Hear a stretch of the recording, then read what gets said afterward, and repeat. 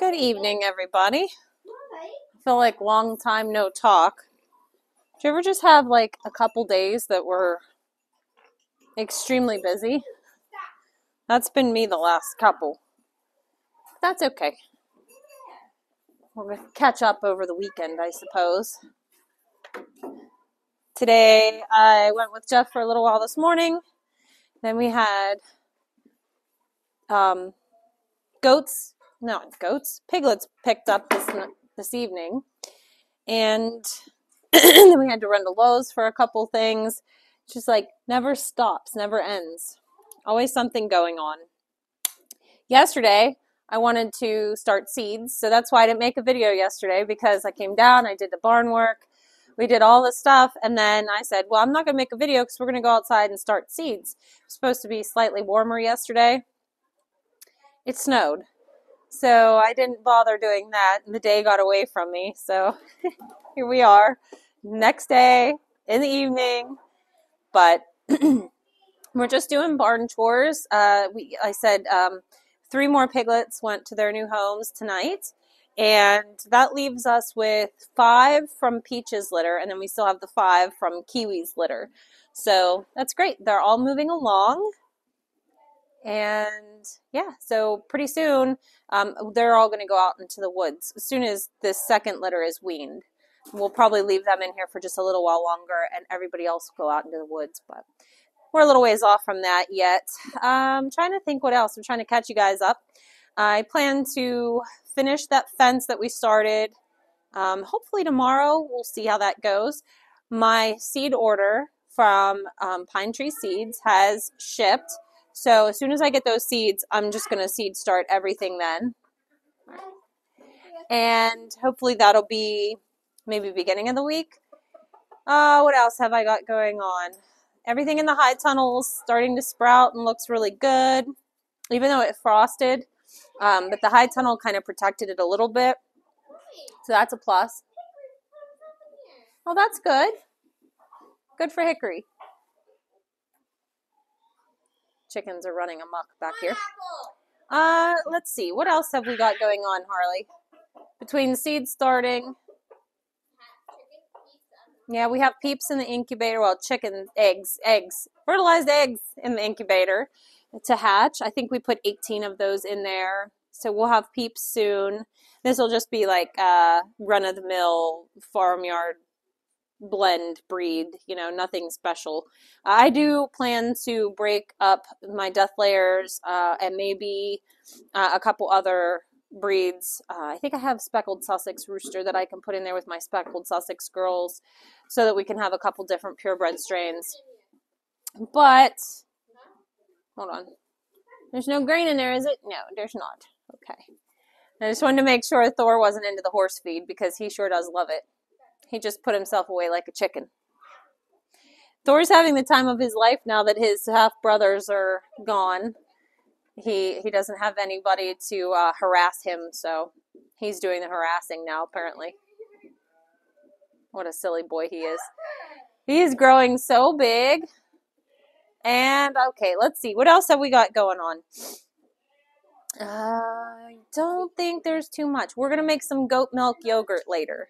So I will let you guys know how that turns out because I've never been successful with it, but I think I know what our error was. So if this works out and I actually successfully make goat's milk yogurt, I will let you guys know. We make cheese all the time, but I have probably close to three gallons of goat's milk in the fridge. They just are producing so fast we can't keep up with it. So yogurt is on the to-do list.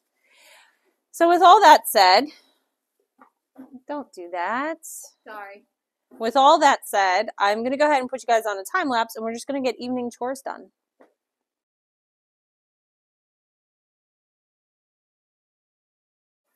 check it out. So I just went in here to clean the stall and I'm like, that's really weird. Athena didn't poop overnight.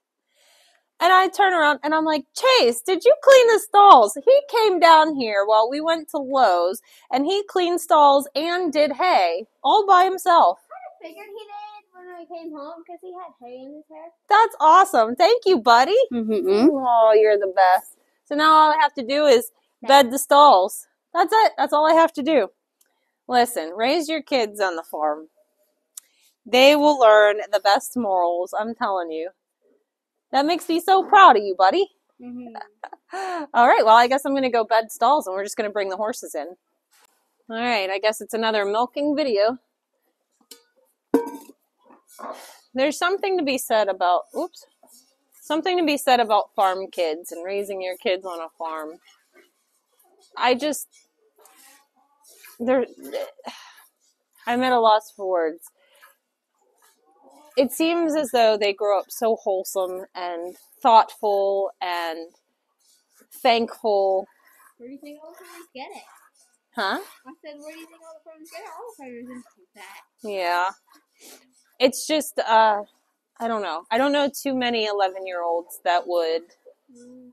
come down here by themselves and clean stalls without being asked and help his sister out by doing her hay chore without being asked. We're both love it. Huh? Well, yeah, yeah, but you, that's also you do the horses. Yeah, I guess you both do, huh? But it's a shared chore. I just think that's pretty cool, and I'm in constant awe of these kids and how awesome they are, and I'm super thankful and grateful for them every day. I don't think our farm kids always get enough credit. You know, they're homeschooled, but uh, the farm kids, when I was in school, were always looked at as the weird ones. You know, I don't know why, but I just think that's such a shame because they're usually some of the best kids you'll ever meet, especially mine. But I'm a little biased, so I don't know.